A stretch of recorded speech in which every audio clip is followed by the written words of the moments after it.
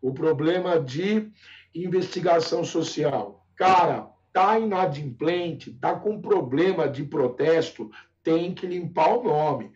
Vai lá no Serasa, vai lá nos cartórios, tem que limpar o nome. Porque o problema não é você dever. Até dever, todo brasileiro hoje que tem problema, né, é normal isso aí. Então, se você demonstrar que tem um débito, mas está procurando uma composição de acordo, ok, sem problema nenhum. Então, se demonstra ali que você está pagando, integralizando, está tendo uma, um acordo, ok. O problema é você dever e não pagar, e configurar eventualmente aí algum tipo de ardil é, de você se escusar de cumprir com as suas obrigações. Aí é que é problema. Então, cuide também da sua vida financeira, porque a PM tem problema com esse negócio de calote.